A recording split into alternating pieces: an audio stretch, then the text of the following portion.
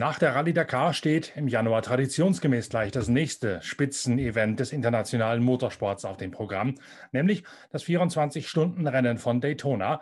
Das ist in diesem Jahr ein bisschen anders strukturiert als in der Vergangenheit. Darum haben wir auch bereits seit dem heutigen Montag den ersten Pitcast zu genau diesem 24-Stunden-Rennen im Nudeltopf in Florida online. Denn es gab gestern bereits den Raw, also den Vortest der zum ersten Mal garniert worden ist mit einem Qualifikationsrennen, 100 Minuten lang. Alles, was ihr wissen müsst zum sportlichen Verlauf dieses Qualifikationsrennens und auch zu den neuen Klassen, zur LMP3, die hinzugefügt worden ist beispielsweise, und zu den Veränderungen in der LMP2 und in der DPI-Klasse, wie auch bei den GT3 und GTI. All das erfahrt ihr in einem neuen Podcast unserer Pitcast-Reihe. Der ist bereits veröffentlicht seit heute Morgen. Da könnt ihr also schon einmal reinklicken auf der Internetseite pitwalk.de oder auf allen einschlägigen Podcatcher-Portalen. Da könnt ihr euch einen ersten Eindruck verschaffen, wie es gelaufen ist gestern beim Qualifikationsrennen vorm 24-Stunden-Rennen. Das eigentliche Event, das kommt dann bereits am kommenden Wochenende. Das heißt, der ganze Trost der Europäer, die es geschafft haben, trotz Corona einzureisen, die bleiben sowieso alle drüben. Und wir haben diese Woche noch eine ganze Menge Arbeit vor uns um weitere Podcast-Episoden mit Informationen aus Daytona zu beschicken. Hier für diese Folge unserer Morgenlage des Motorsports auf dem YouTube-Channel der Zeitschrift Pitwalk haben wir uns mal einige Hintergründe vorgenommen, die zu erklären lohnen, um das Geschehen und den Umbruch in der Sportwagenlandschaft zu begreifen und zu durchschauen. Zunächst allerdings gucken wir uns mal ein paar Impressionen vom Raw an, also vom Vortest und vom Quali-Rennen am vergangenen Wochenende. Fotos direkt aus Daytona, untermalt von einer eigens für die Pitwalk Collection komponierten Gitarrensymphonie von Viktor Smolski. Viel Spaß dabei.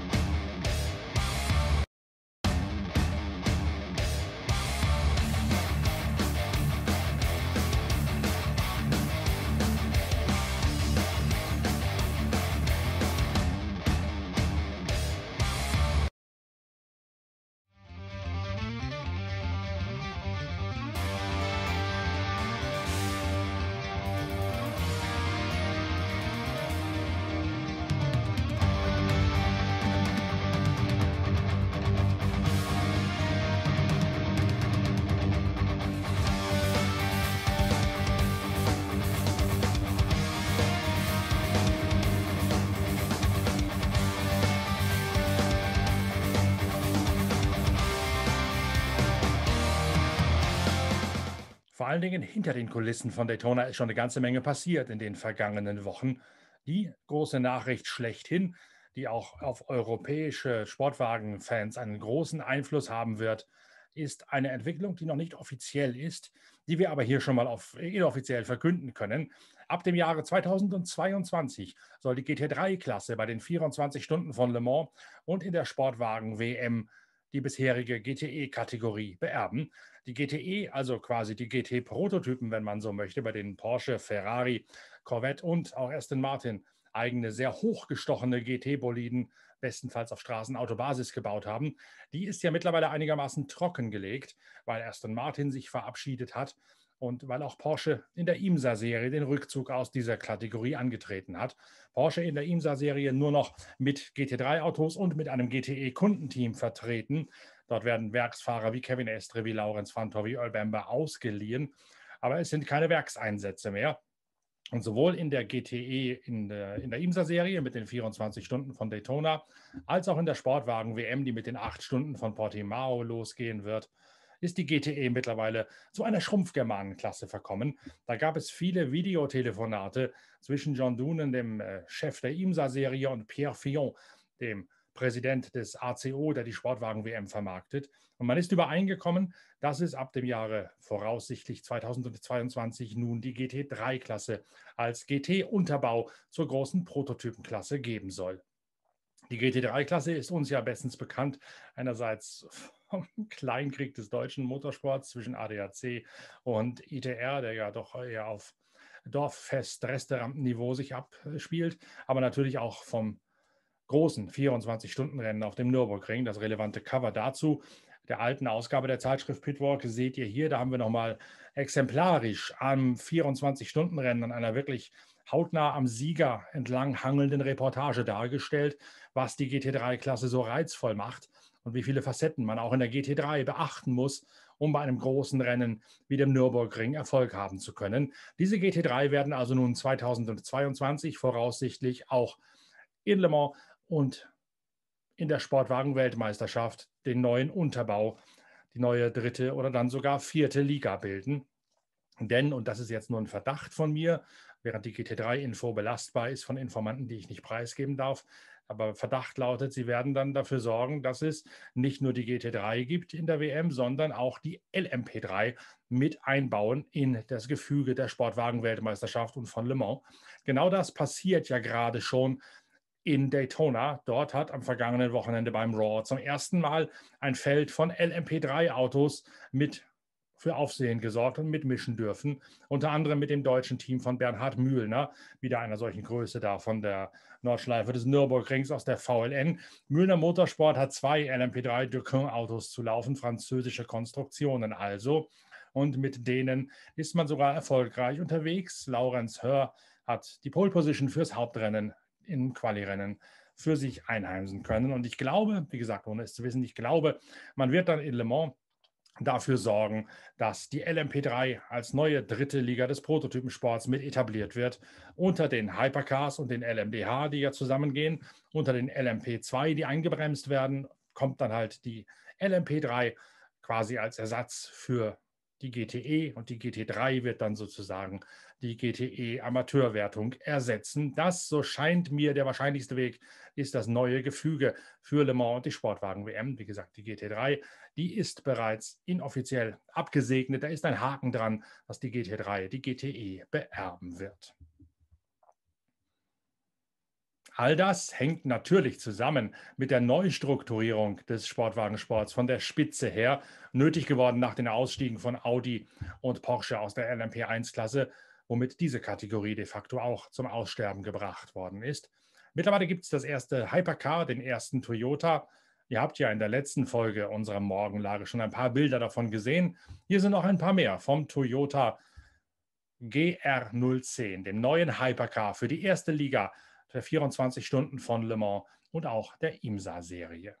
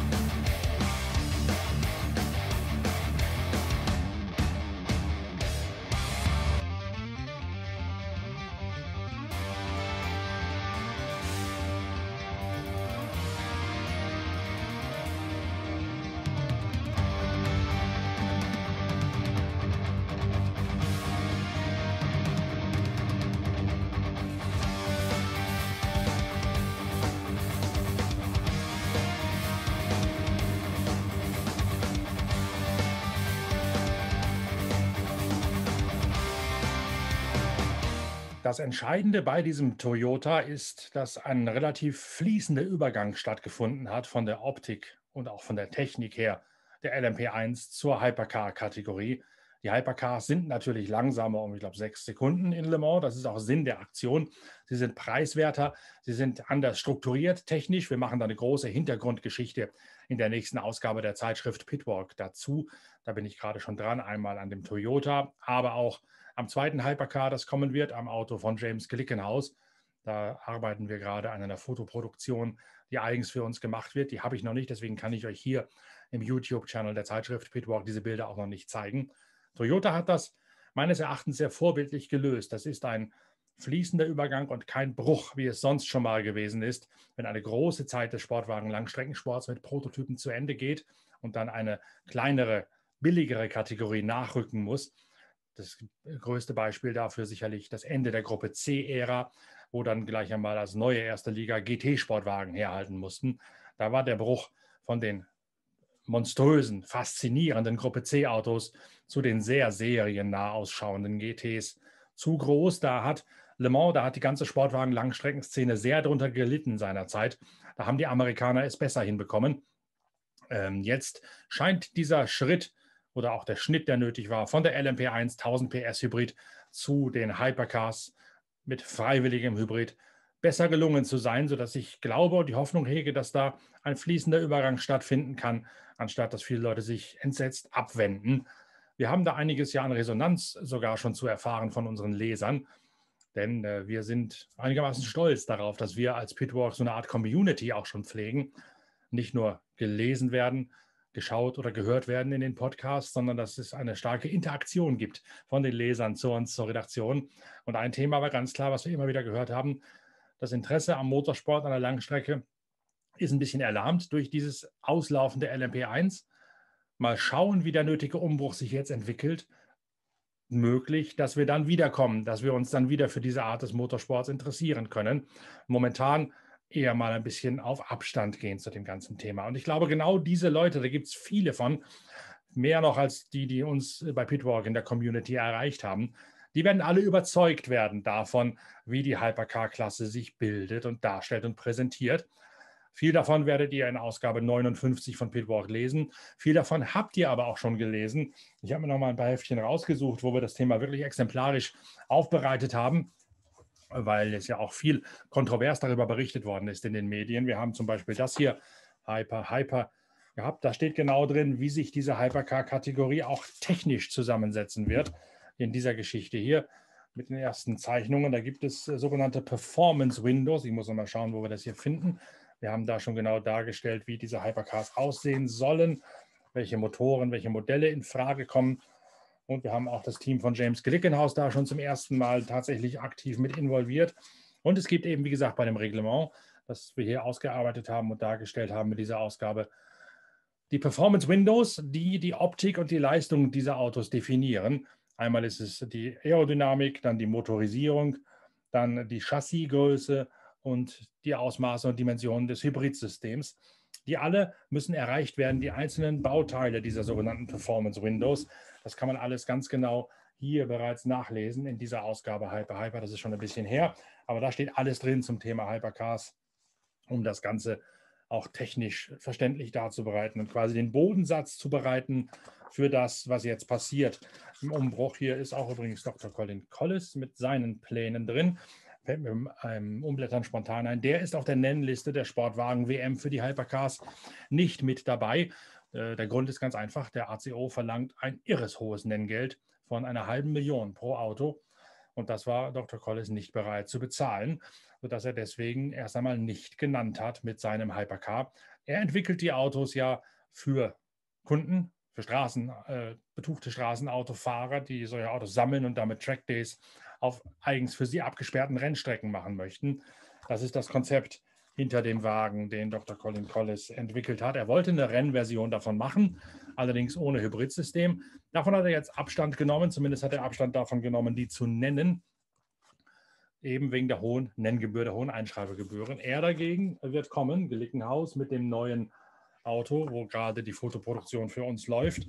Das wird eines der Schlüsselthemen der nächsten Ausgabe von Pitwalk sein. Hier steht schon mal ein bisschen was zu James Klickenhaus und seinen Plänen drin. Viel mehr auch zur Technik kommt dann im nächsten Heft, zum, auch zu einem Technikvergleich von, von äh, Toyota und von Glickenhaus. Das sind alles Sachen, die wir uns mal in einer großen Hintergrundgeschichte widmen werden. Auf jeden Fall muss man auch sagen, dass ganz wichtig ist, dass es diese zwei, drei Teilnehmer gibt, die jetzt schon da sind. Und für James Glickenhaus war noch eine weitere Entwicklung wichtig, die ebenfalls hinter den Kulissen stattgefunden hat in den vergangenen Tagen. Die IMSA nämlich hat die Blockadehaltung aufgegeben, die Blockadehaltung gegen James Glickenhaus und ihn von den IMSA-Rennen mit den Hypercars ausgeschlossen. Jetzt also eben nicht mehr. Er darf künftig mit seinem Hypercar, zwei Stück wird es geben mindestens, in Daytona beim 12-Stunden-Rennen von Sebring in der ganzen IMSA-Serie mitfahren, was für ihn als Nordamerikaner sicher ein erstrebenswertes Ziel ist neben der WM. Bislang hat es ja immer geheißen, wir hatten das auch mal in einer Karikatur von Gerald Saas von Motor Cartoon auf der letzten Seite von Pitwalk thematisiert. Bislang hat es immer geheißen, da dürfen nur Großserienhersteller mitfahren, keine Kleinserienhersteller. Glickenhaus ist natürlich ein Kleinstserienhersteller. Man hätte Toyota zugelassen seitens der IMSA, Glickenhaus aber nicht. Das hat sich mittlerweile aufgelöst und aufgeklärt, weil Glickenhaus offiziell auch die Zusage hat, dass er künftig, wenn die Hypercar-Klasse kommt, mitfahren darf in der IMSA-Serie, wenn dort der Mauerfall passiert ist, die Wiedervereinigung also zwischen IMSA und zwischen Sportwagen WM. Der Mauerfall ist das nächste Thema.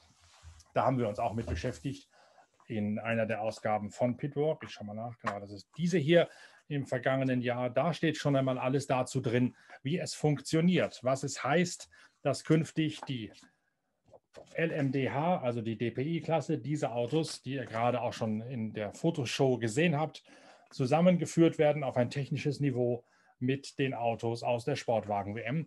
Es ist natürlich die Nachfolgegeneration dieser Kraftwagen hier.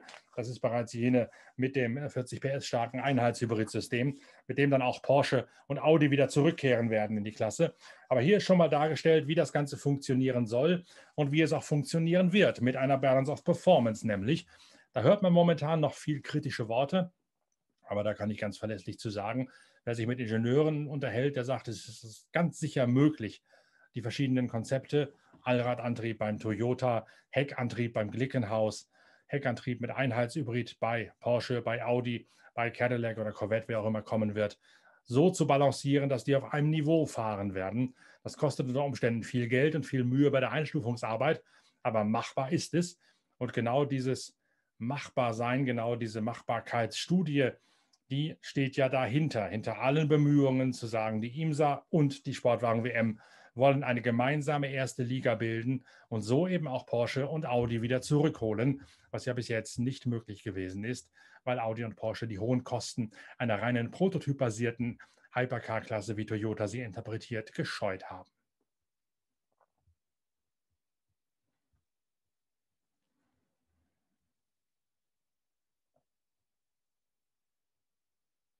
Die große Frage ist jetzt nur, wie kann das Ganze funktionieren? Was wird Porsche machen? Was wird Audi machen? Da gibt es ja auch schon die ersten durchaus belastbaren Hochrechnungen und Gerüchte. Audi wird kommen mit dem DTM-Motor, mit dem 2-Liter-Turbomotor, der eigentlich die neue Klasse 1 hätte befeuern sollen. Porsche dagegen wird sich einen V8-Motor nehmen, und zwar denjenigen aus dem Serien Panamera. Der Niedergang der GTE ist genau in einen Kontext, in einen Zusammenhang zu sehen mit dem Erstarken der LMDH mit Porsche und Audi. Porsche hat nämlich das bereits für die GTE-Klasse vorgesehene Etat, das Budget, umgeschichtet in die Entwicklung des LMDH-Boliden mit dem Panamera-Motor. Gerüchteweise sei es ein Multimatic-Chassis, das weiß ich aber nicht so genau. Auf jeden Fall ist klar, es gibt den Panamera V8-Motor, serienmäßig, serienbasiert, der eingesetzt wird und um das Einheitshybrid ergänzt werden wird. Und die Entwicklung daran läuft bereits. Die Studien sind abgeschlossen. Der Vorstand hat, das wisst ihr alle auch schon gesagt, Porsche wird wieder zurückkommen. Und jetzt ist halt die Frage, wie kann man das Ganze einbalancieren? Toyota hat ja in dem Podcast, den wir gebracht haben, schon gesagt, sie haben durchaus das Gefühl, sie hätten einen Vorsprung bei der Erfahrung, aber auch die Bedenken geäußert, die anderen können jetzt in Ruhe testen, sich theoretisch vorbereiten und da wissen die auch, wie es geht. All das deutet sehr darauf hin, dass die neue LMDH-Klasse und die neue Hypercar-Klasse, wenn sie zusammengelegt ist, Le Mans wieder zu jenem Höhenflug bringen wird, der früher schon mit der Gruppe C und zuletzt auch mit der LMP1 da gewesen ist. Und die LMP1, da gab es ja auch viel Kritik in letzter Zeit dran, dass das eine Soloschau von Toyota gewesen sei. Muss man sagen, man kann es Toyota nicht vorwerfen, dass sie als einzige zu ihrem Wort gestanden haben und treu geblieben sind. Und sie haben natürlich das Beste daraus gemacht mit ihrem Hightech-Gerät. Wie sie das gemacht haben, auch das gibt es in verschiedenen Episoden in der Zeitschrift Pitwalk. Da haben wir uns zweimal mit dem Toyota TS050 zum Abschied dieser Wunderwerke der Technik beschäftigt, wenn ich äh, das so nennen darf, wer das die Autos mal tatsächlich live gesehen hat, wenn man gehört hat, wie die durchbeschleunigen, durchschalten, wie mit einem Maschinengewehrfeuer, der weiß, dass das tatsächlich Meisterwerke der Technik sind. Hier in diesem Heft steht nochmal alle Technik drin von der TS050 Generation. Da hat Toyota uns Zugriff gegeben auf die Daten aus der Telemetrie, aus den verschiedenen Generationen dieser Autos. Und wir konnten daraus genau ableiten, welche Entwicklungsschritte das Auto gemacht hat. Also wir haben eine sehr genaue Technikgeschichte gemacht und konnten auch die Fortschritte grafisch darstellen. Die Fortschritte bei der Geschwindigkeit, bei den aerodynamischen Lasten, beim Verbrauch, bei der rückgewonnenen Bremsenergie. Da gibt es eine sehr, sehr große Geschichte zum Thema Technik des LMP1-Autos, wo man sieht, was das tatsächlich für Fortschritte mit sich gebracht hat im Laufe der Zeit und was da für eine Fahrzeuggeneration gerade verloren geht in Form des TS 050. Umso wichtiger, wie gesagt, ist der Bruch oder ist die Tatsache, dass es eben keinen Bruch, sondern einen schlüssigen, flüssigen Übergang gibt, damit nicht dieselben Fehler gemacht werden wie zuletzt bei der Gruppe C. Und da sind wir beim letzten Programmpunkt quasi für die heutige Sendung, die Gruppe C. Die Gruppe C wird zurückkehren nach Hockenheim. Und auch da habe ich mal ein bisschen was für euch vorbereitet zum Schwärmen, wieder untermalt von Viktor Smolski, damit ihr euch einstimmen könnt und auch mal ein bisschen zurückdenken könnt an eine echte goldene Ära des Sportwagensports. Das war sie nämlich, die Gruppe C, die wir bald in Hockenheim wieder sehen werden.